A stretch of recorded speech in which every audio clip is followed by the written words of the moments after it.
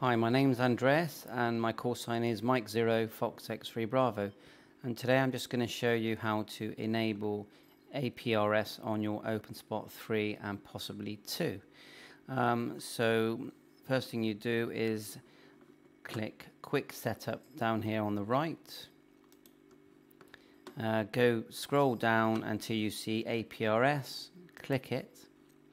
Now if these if this area is blank and also you haven't in this section got uh, the word APRS chat.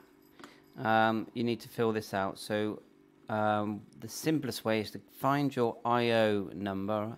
Mine's IO81 uh, you can google this. Um, look on QRZ um, I mean you might know your exact latitude longitude um, location. So put that in there um, once you've got that in there, also see here it says APRS settings.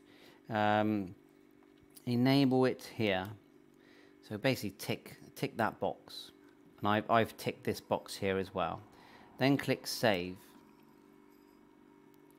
Okay, and then everything gets updated and then you'll see now um, that APRS chat has, a, has appeared here. So uh, hope this helps. 7.3, please subscribe and like.